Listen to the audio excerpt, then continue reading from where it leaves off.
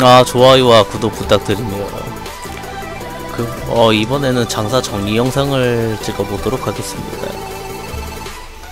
자 판매 물품 25억 5천과 25억에 팔렸는데요. 구매 가격 21억인가요? 이거는 한 22억쯤 줬던 것 같아요. 어쨌든 이거 두 개 50 팔렸고요. 다음부터는 좀 이런 걸 좀 활용하면 좋을 것 같아요. 찐몰록 해놓고 여기다 올려놓는 거죠 그럼 안 사라지니까 내가 구매하기 전에 이렇게 하면 좋을 것 같아요.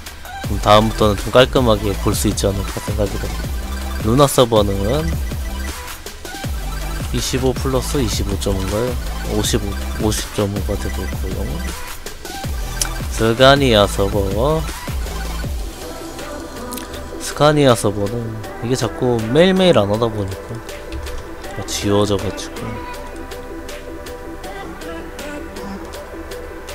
판매 완료. 7억 5천.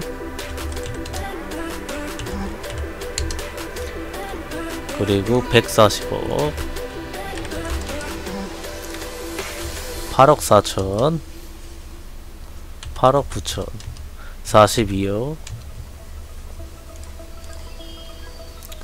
47억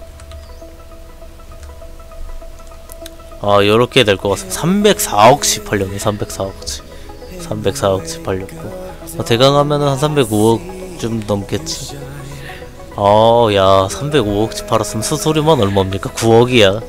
야 씨. 정리해주면은 47억에 80% 가격에 구매했고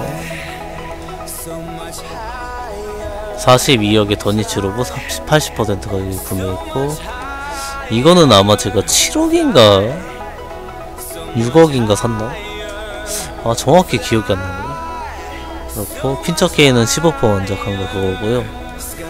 그리고 스펠링 스테이프는 80% 가격에 구매해서 팔렸고 이것도 15% 원작한 거. 304억씩 영상 마치도록 하겠습니다. 감사합니다